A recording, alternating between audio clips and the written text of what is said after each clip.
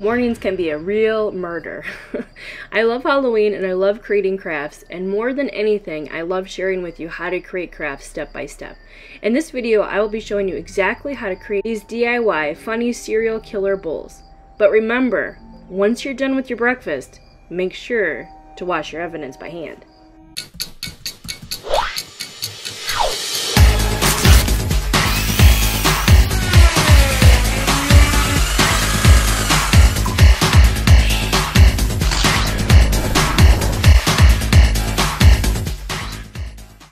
Alright guys, who's ready for Halloween? I think I am. So we're gonna do a quick video tutorial on how to make these cereal killer bowls. Um, I've been seeing them everywhere and I thought, you know what, I'm gonna put my own take on these. So I purchased these two SVG files from Etsy. I will leave the link below in case you're interested in them but I don't really like the cereal bowl here. So I think I'm going to do a couple different things here. I'm going to get rid of the cereal bowl and I'm going to put the handprints behind it. And then I'm also going to find another cereal bowl that I like.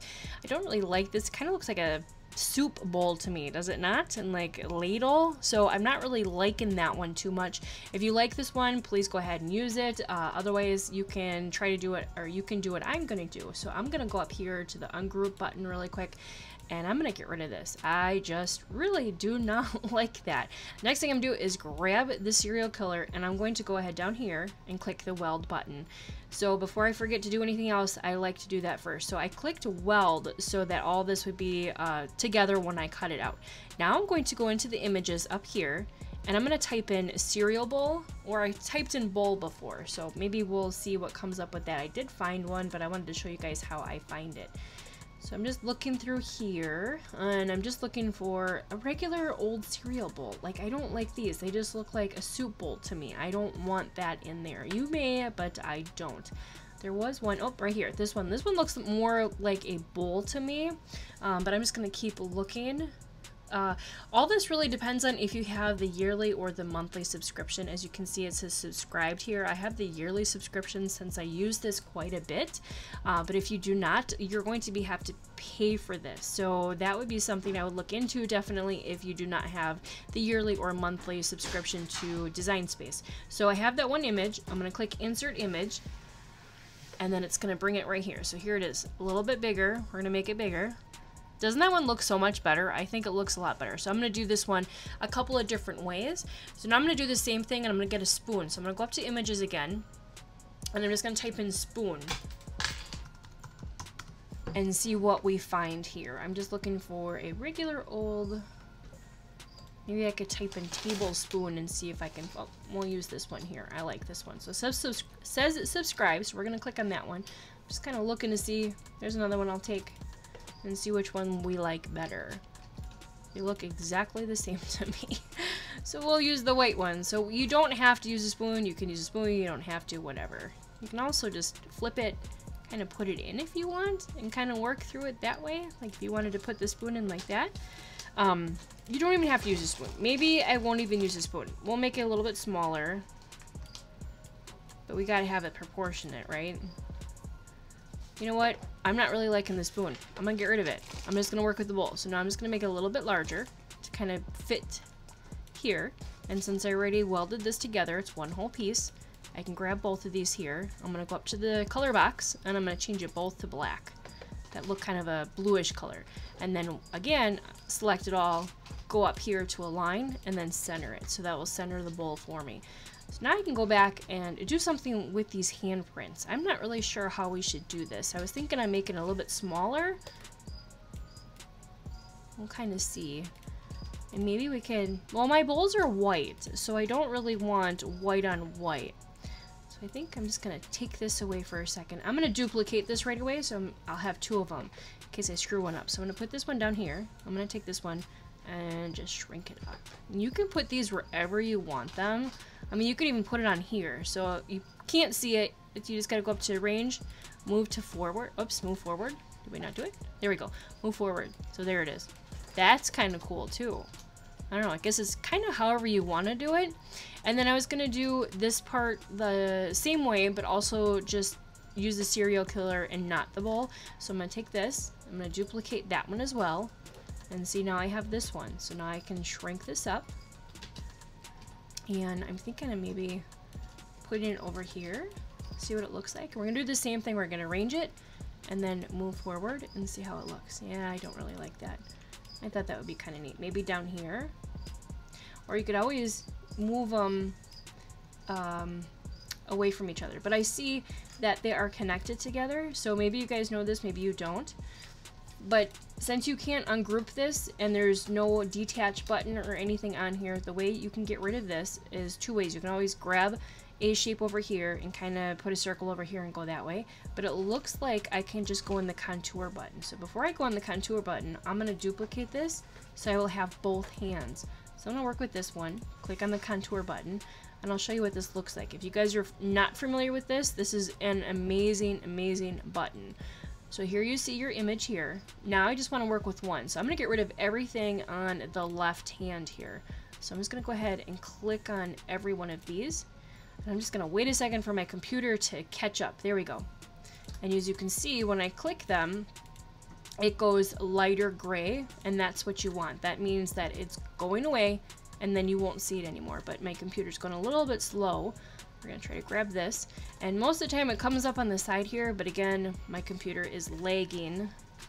I do have four children at home, and they are on the internet, so sometimes it doesn't always help. So I'm to show you that really quick, what it looks like. Alright, so here you go. We see we have these two hands here, and we still have this. So I missed this part here and this part here just because my computer is lagging. I'm to show you another way that you can finish this up if you don't want to go to the contour button. Go over here to shapes. You can click whatever shape you want. I'm just going to grab a circle. I'm going to put it right over that. And I'm going to grab all my images here, slice it. Now we have this hand here, and I can get rid of all of that. There you go, see? So we have one here. You could kind of looks the same. I'm trying to see if they just flipped it, which I think I might actually try to do. It looks like it's the same hand, but they just flipped it. We're to try it. So I have this one here. I'm to duplicate it again. And we're to flip it once and see if that's how they did it. So we're to flip, flip horizontally. I think those little buggers is that's what they did. Yeah. Okay then. Well, this one we don't need. So if you didn't catch that, instead of going in and cleaning uh, the right hand one so we have or actually cleaning the left one so we have the right one I just took it and flipped it. They're exactly the same image but whoever created this just flipped the image. So there we go. Now we have two separate hands. You can do whatever you want with this. You can also like put it up here. If we shrink it a little bit you can go over the words like this maybe even tilt it a little bit so it looks like it's an actual serial killer. I don't know, I kind of like this one better. But I mean, you can do it that way, or you can bring them down here. But I kind of like it up here a little bit. But I'm looking at the size. One hand looks a little bit bigger than the other one. So what I'm going to do is get rid of this one. We're going to duplicate this guy. Now he's exactly the same size. Now I'm going to go ahead and flip him. So go to the flip button, flip horizontally. There. Now they're exactly the same size, so they don't look silly. So there. There we go. Wow. I really like that. So you can go ahead and make your own serial killer words, or you can just purchase them off at Etsy, which I see two ways. That's you're helping a local business, and you're saving yourself some time without having to go and try to figure out what font this is. So I love doing it that way. I really love this one not so sure about this one. We'll see how it turns out. The last thing I want to do is just uh, select it all and then change it to the size of your bowl. I actually bought my bowls from uh, Walmart. They are the Better Homes and Gardens one. Uh, it does say dishwasher and microwave safe, but once you put vinyl on it, it is definitely not dishwasher or microwave safe. So if you're going to sell this, please put that on the disclosure that people don't put this in the dishwasher or in the microwave. So what I do is just take a regular green mat and I'm holding it up to my bowl to see how large I want it. So it, roughly mine is going to be eh, two by four maybe. So roughly around there. I don't want to go too much over the edge because once you get to the edge, it kind of curves. That didn't sound right. Once you get to the bottom, it curves on the bowl. So I don't want to really get to that curved part. So I'm going to do it. We're going to try a 2 by 3 or 2 by 4 and kind of see what that looks like. So I have the whole image here. I'm going to go up here. Actually, I'm going to unlock it first. And I'm going to change it to 3. and then we'll try two. Three by two. Well, that's not too bad. I kind of like that, guys. So we're going to do the same thing with this. Grab both images, unlock it, and change it to be three by two. Kind of see how it looks. Wow. Yeah, I like these. I do kind of like the hands like that. I mean, you can move them wherever you want. It doesn't have to be right next to each other, just so you can kind of see the, the cereal behind it. Yeah, I like these. So what I do is I love making doubles or even triples, so then you're not, you know, cutting this out later. So what I'm going to do is select all of it, actually go up here and duplicate it. Now I will have four of them. So I'm going to go to the Make It button, and I'm going to show you what it looks like. So here it is. Here's my serial killers. So what I like to do is kind of try to organize it a little bit leave myself a little bit of room in between that I can get my scissors in there and then I'll pull these guys over my little bowls and then I'll look here and here are my handprints. So this one was together. I'm just gonna move it over. So we have a little bit of extra room to cut in between. That's up to you if you guys want to do this or not. I always just do it so I have a little bit of scissors room in between each one. So I love how these both look. I'm gonna push continue and if you guys watch my channel and you're subscribers, you know I hate Cricut brand. I'm sorry if you guys like it. I have not had any luck with it. So I buy whatever, you know, was on Amazon. I'll leave my all of my supplies in the description below if you're interested in this. I people ask me about my transfer tape. I absolutely love the Frisco. I think that's what it's called, transfer tape. I'll leave it in the description below. Um, and then all the other supplies that I use, the scraper, my mats, everything. So in case you're interested in it, I will leave everything down in the description below. So here are my base materials. As I said, I really don't like Cricut, so you can see it here. Iron on, heat transfer, non-Cricut. Okay, so that's what I always use for my HTV. When I use my regular vinyl or Oracal 651, I always use this stencil vinyl. And the way I found that is I just went into browse material, and you can type up here like vinyl, or whatever you're going to be using and kind of find it and then put a star by it. So that's all these stars are the ones that I use all the time. So that's how I got these up here. So I'm just going to click stencil vinyl. Don't have to do anything else with this. You just have to get your mat prepared. So I'm going to save time on this video. I'm going to put the transfer the vinyl onto my mat. I'm going to cut it out, I'll weed it out, and then I'll show you how to apply it to your bowls. If you guys have any questions about weeding, let me know. I did actually just do a video tutorial uh, showing you an even easier way, guys, to weed. Honest to God, it saved me so much time when I found this tip. Go back, I will leave the description below. Your mind will be blown, I guarantee you. So go and check that one out. So I'm going to go ahead and finish this up. I'll cut it out, weed it out, and I'll show you the next step. Alright guys, so I finished weeding these out. I did a whole bunch of them because I hate going back and making more and I know these are going to sell really well. So there are the serial killer ones. Here are the little bowls. And then here are some handprints. I will tell you these handprints were very hard to weed out. I'll show you it really quick. I was having a hard time. Even with the reverse weed that I show you in a previous video, I will leave that in the description down below. It was still hard just because there's so many little tiny pieces on here. So I have a few cut out right here ready to go. And I'm going to show you one that I already did, which I love it and I think it turned out absolutely amazing. So serial killer and then I put the two hand prints right next to each other. So I'm just going to show you really quick how to do it. So you want to take a bowl. You can take any bowl that you want. I bought these from uh, Walmart. These are the Better Homes and Gardens ones. Uh, you can take this off if you want or leave it on. I'll just take it off for the video really quick. So they are the Better Homes and Gardens one. Uh, it says dishwasher microwave safe, but again, I would definitely not put this in the dishwasher or microwave after you put your vinyl on. And if you're going to sell it, I would say that in uh, a disclosure for people to know that. So the first thing you want to do is actually clean this off with some alcohol, which I already did and I let it dry. So you want to have a nice clean surface to put it on. And then you want to take a piece of transfer tape, which I love this transfer tape. I buy the really huge roll of it and just cut a slice off. I love this transfer tape because I can use it so many times over and over and over and it's still going to be really sticky. So this little piece will go a long way. So what you want to do is just put it over your vinyl and then take a scraper or even this. I have a roller here and I, I like this roller a lot better, not only because it's really easy to do, but because when I use it to put vinyl on my mat, I'm not scraping it and scratching it so it doesn't have, the vinyl doesn't have scratches on it. So once you have it on here, I like to flip it upside down and then work backwards so I can see if anything comes up. And you can just kind of push it down with your thumb and push anything back down on the transfer tape if it's coming up. So there, just like that.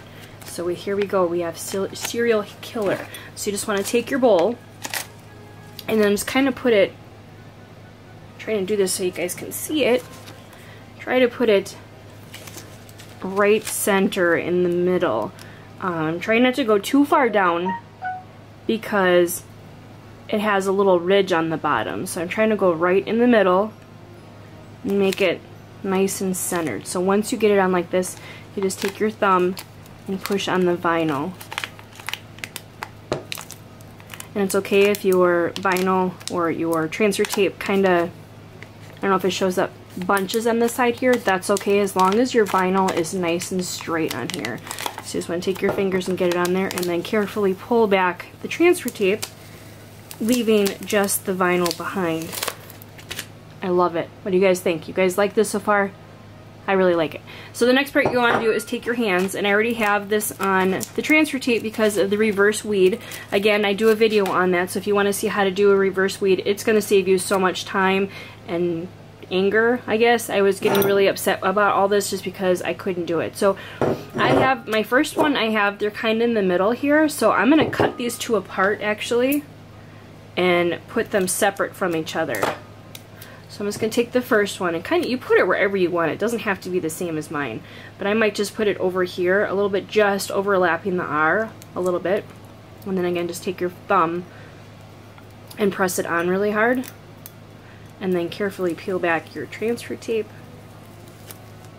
And then the same with this one here.